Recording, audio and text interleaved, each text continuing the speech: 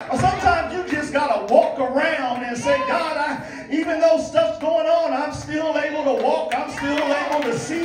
I'm still able to eat on my own. I'm, I'm still able to dress myself. I'm, I'm still able to roll in my car. I don't want to forget, God, what you've done for me.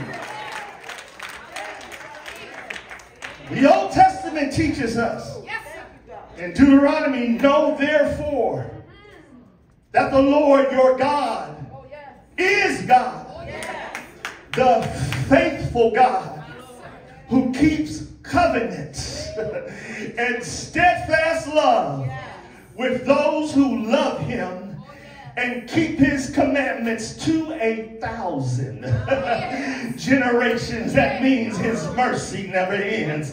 That means his mercy flows from your mama to you, your children, to their children. His love extends, his mercy extends a thousand generations.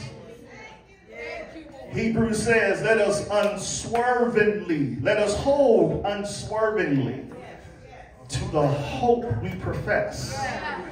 For he who promised is